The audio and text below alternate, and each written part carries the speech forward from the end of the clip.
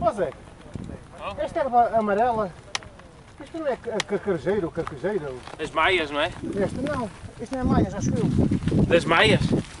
Não, não parece, parece. Isto usavam isto antigamente para fazer a, a cama ao- aos animais. Talvez, talvez. Vinham, vinham cruzar isto ao monte e depois faziam a cama. Carqueja, que é isso, é isso. Carqueja e urso, sabe? Porque aí nisso parecíamos daquele. ah, aquele tocho que pica. Não é?